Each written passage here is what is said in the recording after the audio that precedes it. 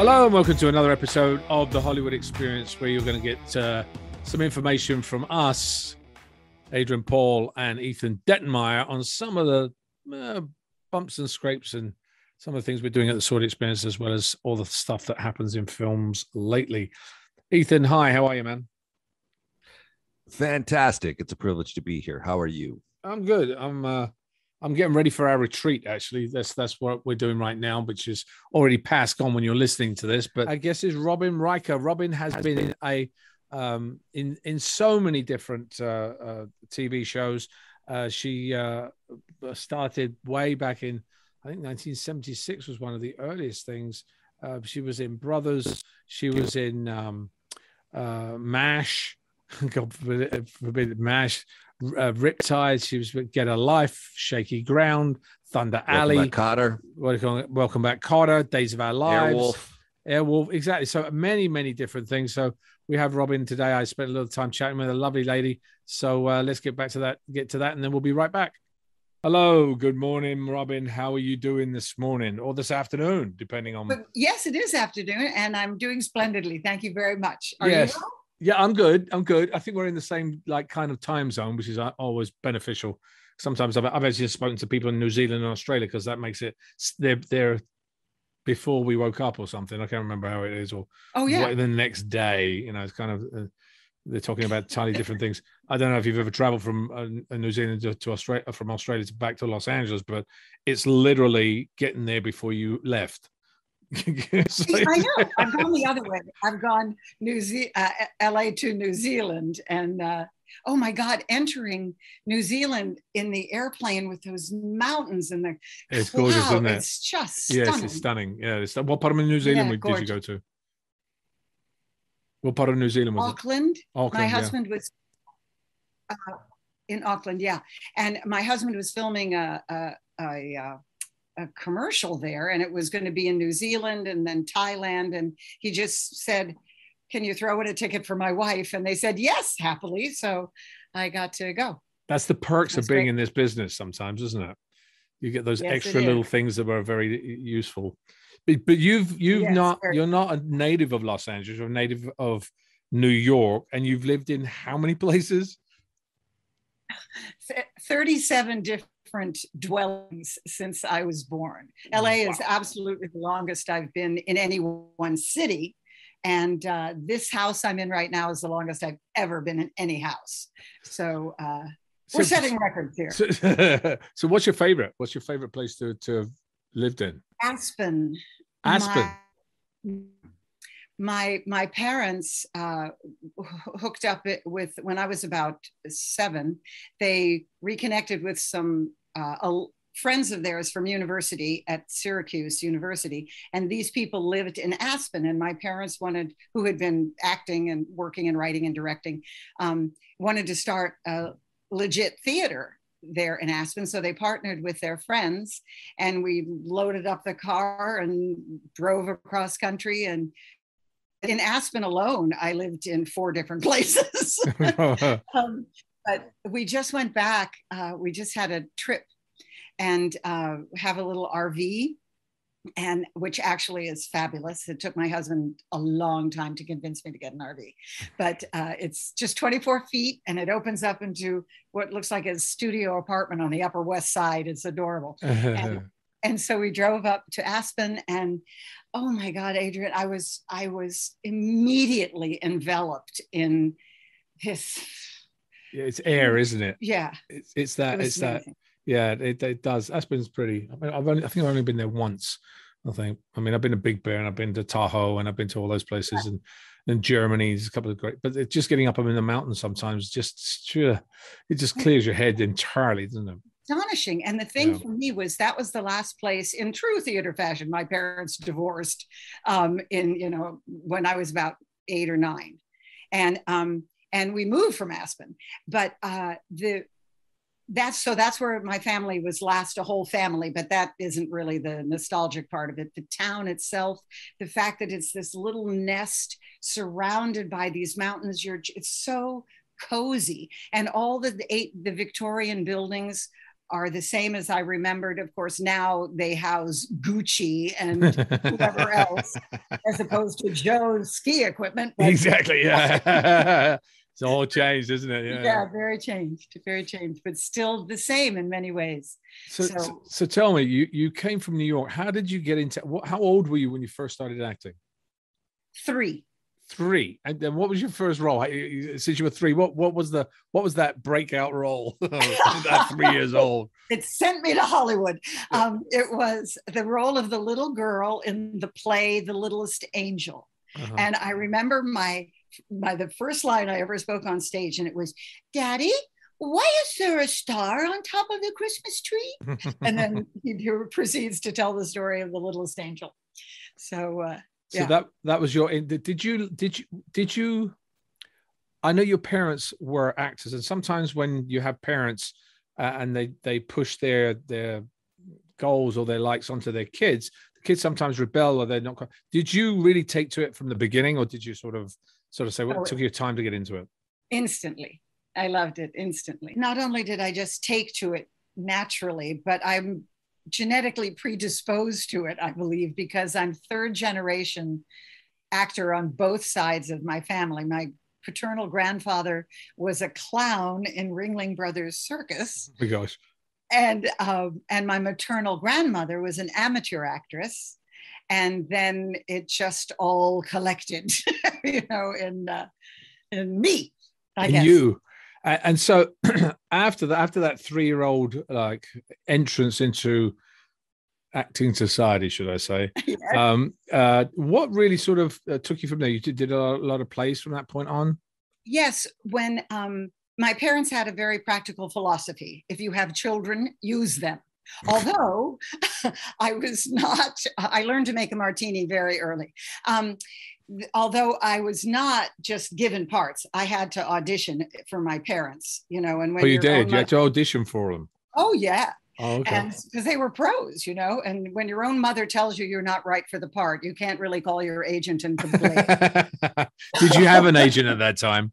No, your mother was your agent, so kind of like a conflict of interest there, really. right, exactly. should have should have taken her to court or something.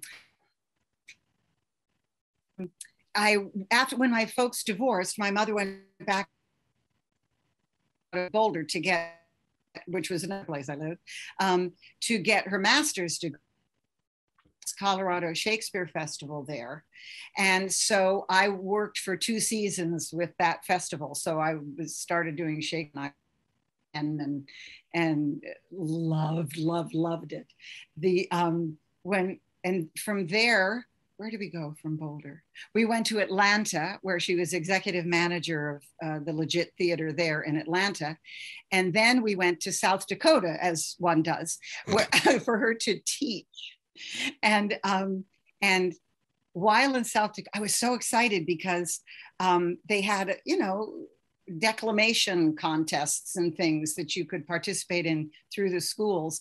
So it was kind of odd though, because I would go to competition and I was doing an edited scene from Richard III between Lady Anne and Richard at the what he the corpse is being her husband who is just had killed is being taken somewhere. So I'm doing that scene, and the other kids are doing Jimmy in the newspaper boy and the duck and it was I don't they didn't quite know what to make of me, but I played to my strengths. so. so. what brought you? How did you get to Hollywood? How did you come over to to LA, and what was the kind of the process for you? Well, I uh, I graduated early from high school, and um, went to California to join my boyfriend who was going to Stanford, which was another place I lived in a fraternity house on the campus. And um, all my family had gone to Stanford, but my grades weren't quite good enough to get there. So um, so anyway, I, we moved. I moved out on my own when I was 17, and uh, was doing theater locally and all of that. And then broke up with that boyfriend, got another job, was still working in some theater up there, and I got offered my first uh, you know, I was 20, I think, and 21, and offered my first serious job, which, uh, you know, it was working at this great bar in Silicon Valley. They wanted to help me be, you know, come in as a, not a partner, but, you know, somebody that would have a percentage in the company. And I thought, holy smokes, this is serious. If I do this, I have to give it my attention. And I've always wanted to, um, to make acting and writing my living. So I said no thank you to that. I went back to New York to audition for uh, a man named Arthur Storch, who was head of the uh, theater department at Syracuse University, because I wanted him to say, no, really, you should probably take up arc welding. Uh, acting is not for you. So, but he said, go for it, do it. And so I went back to California. I packed up my stuff and I moved to uh, Los Angeles with $45, some headshots, and a free place to stay. And the universe rewarded me instantly. It was. Was that Brothers? No, it was a TV show. All right, well, anybody with math skills can figure out things out now, but it was a television show opposite Joe Forrester, uh, opposite uh, Lloyd Bridges, I mean not Sea Hunt. It was another show that he had. And um, I had the illustrious role of girl robber. The part was so small that I had to uh, uh, use another character's lines for my audition over at Warner Brothers, but it worked. So, so, oh, so did, did you enjoy uh, TV or film better than than actually being on stage at, at that point? I'm, I'm not going to like. There's there's always you know more yeah. time right, after course. that, you know. But um, I'm kind of curious what you kind of felt at that particular moment. Um, I loved it. I felt as though the universe had said, okay, you've made the right choice here to try this medium. Um, uh, now learn patience. I'm still working on that part. But, yeah, uh, we can all work on that one. yeah, really. um, but I was thrilled. I was very, very happy. And um, because I had done so much theater that uh, I, I, wanted to try something new, and the fact that I was getting the opportunity to do it was uh, it was grand. I, I, really I loved it. It was wonderful to do so, and to learn new things. So did you did you go and get yourself an agent immediately, or or how did how did it work? I mean, you know. I had finished a show in Northern California play, and um, the uh, one of the actors, her boyfriend was very well connected with an agency here in Los Angeles. So he wrote me a letter of recommendation and I sent that in with my headshots. I sent out to several people, but but the people for whom I had the letter of recommendation uh, called me in right away and and uh, and signed me. And this I think is a good tip for a lot of actors who are aspiring, which is they told me they signed me because when I walked in the door, I looked like the picture I had sent them. rather than, you know, doesn't that always, yeah, because like, okay, we, yeah, I know. Slam uh, all up and we, yeah. But, you know, sometimes I think, you know, we forget because, you know, as we change our look or we get older or we change something, you know, we forget to change the headshot and you know that could either go this isn't the person i saw you know that you know. I know. And it also there's a person i know who has using a, a headshot from uh, he's not acting so much anymore but it's the sh- headshot he uses for his representation and you know serving the screen actors guild or whatever it is. And i keep going really? We, we all see you in the boardroom you know? So i just you know. So which which was your first real series because you've done a, a you said that again which which was your first series? Because you've done a, a, a number of things. Uh, you know you did thunder alley you did the gregory hines show uh, you did uh, days of our lives you've done a which was the first one that uh, you know you, because it's a different it's a different animal being on a series week oh, in yeah. week out than it is just coming in as a guest star. You were correct in your guess initially. Brothers was my first television series. Okay. So so how many episodes did you do on brothers? You did a, number of those 80. How many? Eight zero 80. 80, 80. So that's a that's a, a fair amount of what was it like for you at that point? Because now you're on a show that's done 80 episodes, or probably done more at that, at that point. Yeah. how was it at that point? Now, you know, what, what are you feeling like, uh, you know, doing this type of, I mean, it's, it's, it's fabulous. You're working in every week, getting paid regularly, you know, I mean, right. isn't that lovely? Isn't that nice? Yeah, exactly. Uh, well, it was, it was wonderful because it was a, it was a three camera show with an audience. So it was, um, the perfect amalgam of uh, stage and film, right? Because we had the immediate response, response of the audience, yeah. which, as you know, is yeah, it's, golden. It's, well, and, it can be sometimes. Sometimes it doesn't necessarily work because sometimes the things you think work on other oh. other shows don't work in that particular that particular. You know, what did I do wrong? You know, that's right. It's, it's bizarre. Uh, that's why you never hold for the laugh. Yeah, exactly right. Exactly. Yeah. yeah. Um, but it was it was a great experience, and we had people come regularly uh, to the set, you know, uh, I mean, to the audience on nights that we were filming, and um, it, it was I tell you, we did the first, I think we did eight episodes, seven or eight episodes first. And at the end of the seventh episode, we were going to have a big celebration. And we went to, we shot at Paramount, which was thrilling, you know, because I've always loved old movies. And so to d- drive through those Paramount gates, you know. Yeah, that was day. my first series as well on Paramount. Really? really? Yeah. Yeah, Isn't it was the Colbys. Yeah, back in. Oh, yes. The Colbys. Yeah. So that was Isn't the first time. Paramount. That was Paramount. That was fabulous. Yeah and the and the commissary food's pretty good. um, so anyway, that was great, and um, we get we did our seventh episode, and then the party. We moved to another soundstage on the lot for a big party and champagne and whatnot. And clink, clink, clink, says the producer. I have an announcement to make.